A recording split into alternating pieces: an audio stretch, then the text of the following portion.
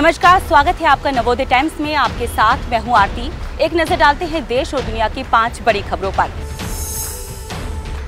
गृह मंत्री राजनाथ सिंह के जम्मू कश्मीर दौरे का आज दूसरा दिन है। आज वो उन परिवारों के साथ एक मुलाकात करेंगे, जो कि पाकिस्तान की ओर से हो रही गोलाबारी से परेशान हैं। पेट्रोल और डीजल की कीमतों में एक बार फिर मामूली सी गिरावट आई है। पेट्रोल 21 पैसे और डीजल के कीमत में 16 पैसे की गिरावट आई है।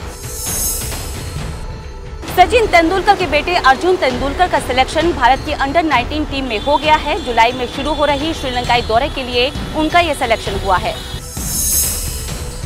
केंद्रीय मंत्री नितिन गडकरी जल्द ही सलमान खान के पिता सलीम खान और नाना पाटेकर के साथ एक मुलाकात करेंगे। ये मुलाकात बीजेपी के संपर्क और समर्थन अभियान के तहत की जाएगी।